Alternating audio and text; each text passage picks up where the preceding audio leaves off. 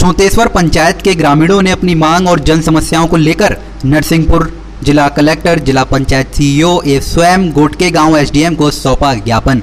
ग्रामीणों का कहना है कि हमारी ग्राम पंचायत में 300 से 400 परिवार अभी भी पीएम आवास योजना के लाभ से वंचित हैं।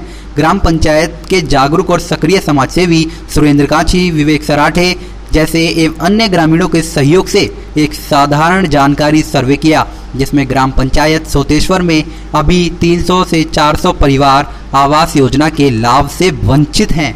मध्य प्रदेश में वर्ष 2014 से लेकर आज 2021 तक बन रहे प्रधानमंत्री आवास योजना के लाभ से यह सभी परिवार वंचित हैं, जिसकी एक सूची भी तैयार की गई है, जो ज्ञापन के साथ संकलन की गई है। ग्रामीणों का कहना है कि यह सभी परिवार उन्नीस सौ बयासी से लगभग 2011 के पहले से शौतेश्वर में पुराने कच्चे क्षतिग्रस्त हो चुके मकानों में निवास कर रहे हैं।